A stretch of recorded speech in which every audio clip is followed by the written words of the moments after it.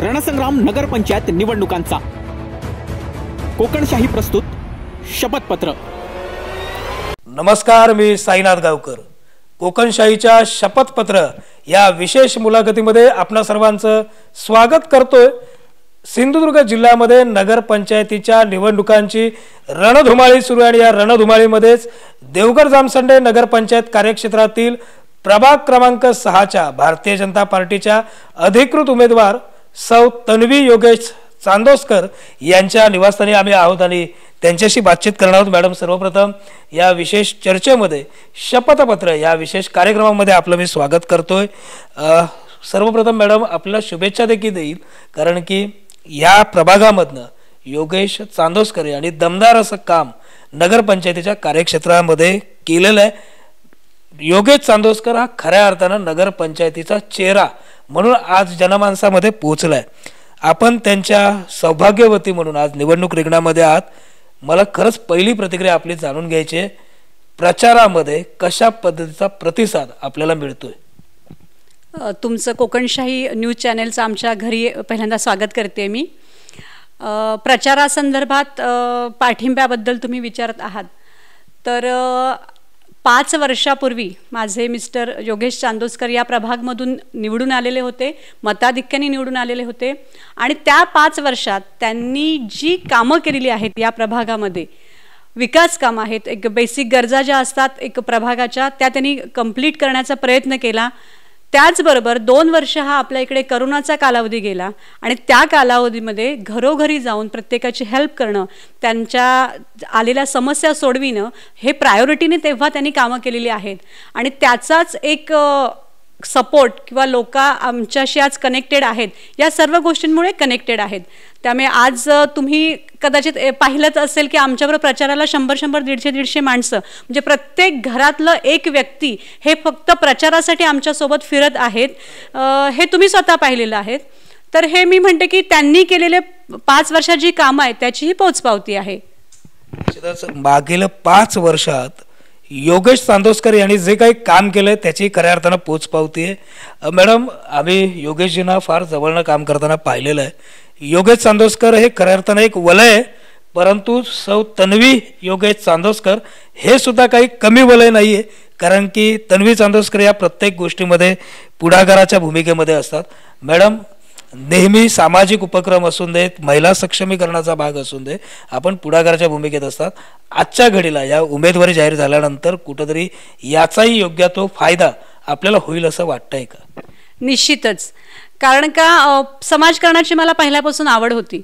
पण मग समाजकारण करताना मी बऱ्याच जणांना काउन्सिलिंग करते. एक फॅमिली काउन्सिलिंग असेल एक मुलांसाठी काउन्सिलिंग असेल मुलींसाठी वयात आलेलं काउन्सिलिंग असेल. अशा बऱ्याच क्षेत्रांमध्ये मी कामं करते. मी महिला दक्षता समितीची सदस्य पण आहे. आणि हे सगळं करताना महिलांना आत्मनिर्भर करण्यासाठी वेगवेगळ्या काय आपण अजून करू शकतो? कारण का गेल्या या एक दोन वर्षात तुम्ही पाहिलं तर एक स्मॉल स्केल इंडस्ट्रीमधले जे स्किल कौशल्य म्हणजे शिवण कला कला असेल पार्लरचे व्यवसाय असतील तर हे स्किल बेस्ड जे व्यवसाय आहेत ते ठप्प झालेले होते सगळेच. आणखीन आत्ता अशी काळाची गरज झालेली आहे की प्रत्येकाने आत्मनिर्भर होणं गरजेचं आहे. आपले पंतप्रधान माननीय मोदीजी सांगतात की प्रत्येकाने आत्मनिर्भर व्हावं. आणि मला वाटतं की माझ्या वॉर्डमधील महिलांनीही आत्मनिर्भर होणं आवश्यक आहे. त्यासाठी मी आत्मनिर्भर आत्मनिर्भर भारत अंतर्गत जे स्फूर्ती क्लस्टर आहे त्याची आता एक दो दोनशे ते तीनशे सभासदांची माझी नोंदणी सुरू आहे आणि त्यांच्यासाठी मी वेगवेगळे गृहोपयोगी किंवा रोजगार निर्मितीसाठी एक छोटे छोटे प्रकल्प उभे करणार आहेत.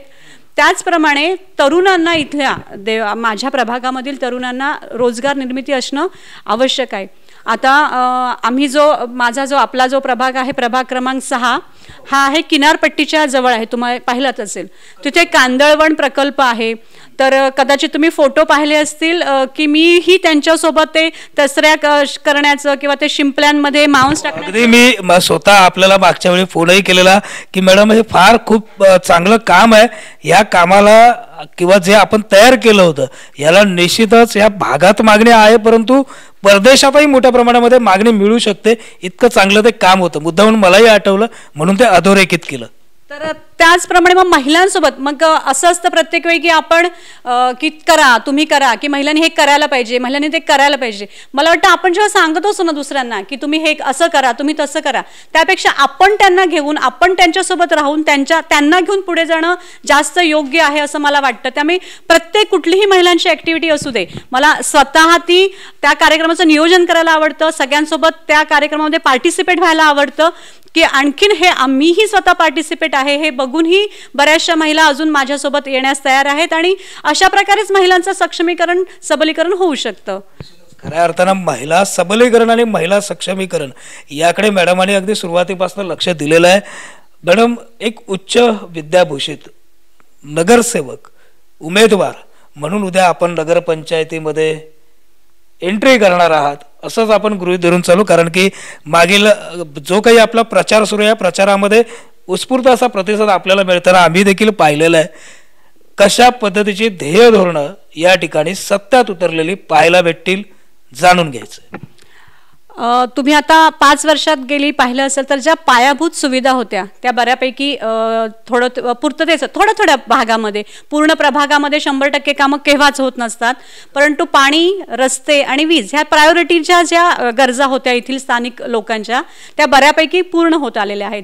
पर्यटनदृष्ट्या एक एक आपण इथे ओपन गार्डन एक सुरू केलेलं आहे रस्त्यावरच आहे ते.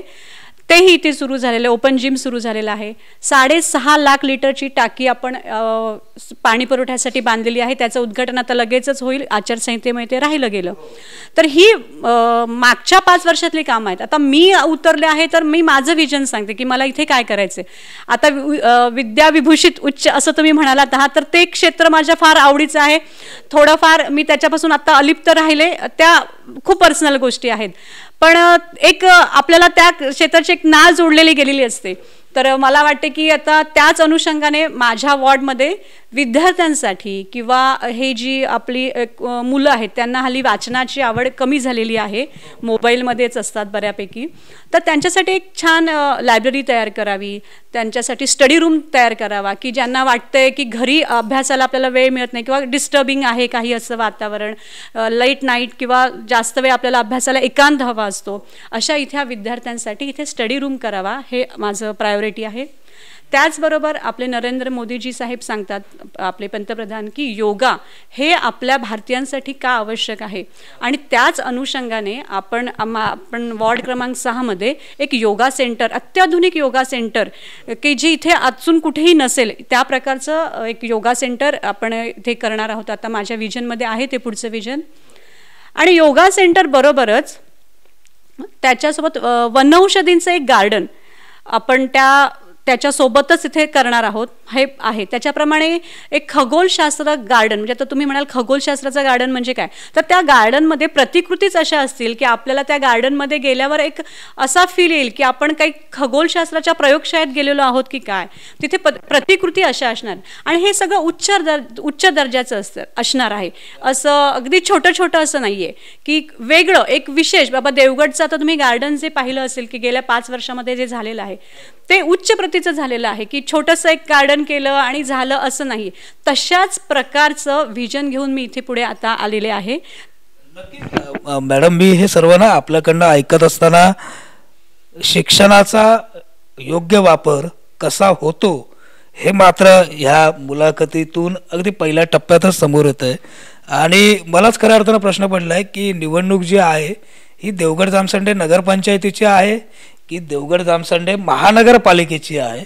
कारण की आपण जी ध्येय धोरणं सांगताय आपण जे काही पुढे द ब- संपूर्ण ब्ल्यू प्रिंट मांडताय ही फार मोठी ब्ल्यू प्रिंट आहे. निश्चितच आपल्याला या ब्लूप्रिंटसाठी माझ्याकडनं देखील आणि आमच्या कोकणशाही परिवाराकडनं देखील शुभेच्छा. मॅडम मला खरं जाणून घ्यायचं आहे. यापूर्वी आपण जामसंडे जेव्हा ग्रामपंचायत होती त्यावेळी आपण ग्रामपंचायत सदस्यपद देखील या प्रभागामधनं भूषवलेलं आहे. आज ग्रामपंचायत सदस्य ते नगरसेवक पदाचा एक प्रबळ दावेदार उमेदवार म्हणून निवडणूक रिंगणामध्ये आहात. नेमका हा प्रवास आपल्याला मार्गदर्शक म्हणून कसा पाहताय या प्रवासाकडे? जेव्हा पहिल्यांदा मी ग्रामपंचायत सदस्य म्हणून निवडणुकीसाठी उभी होते तेव्हा मला असं वाटायचं की अरे राजकारणात मी दुसऱ्यांना आपण जेव्हा म्हणतो ना की हे असं व्हायला पाहिजे ते तसं व्हायला पाहिजे. सुशिक्षित लोक राजकारणात येणं आवश्यक आहे.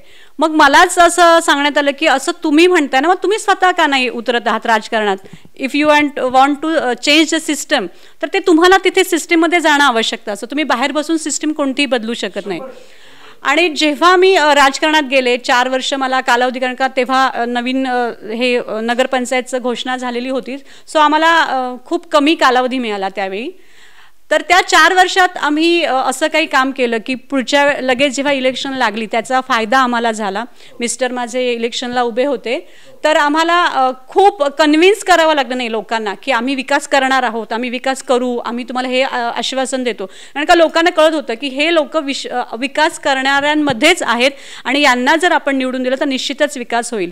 आणखीन आत्ता आम्ही ठरवलेलं की मिस्टरांना पाच वर्ष झाली राजकारणामध्ये मीही राजकारणामध्ये सक्रिय होत तर आता ठीक आहे आपण अजून कोणाला तरी चान्स देऊया. कारण का सा- माननीय कार्यसम्राट आमदार नितेशजी राणे यांनी तर खऱ्या अर्थाने मिस्टरांना नगरसेवक पद तर मिळालेलंच होतं.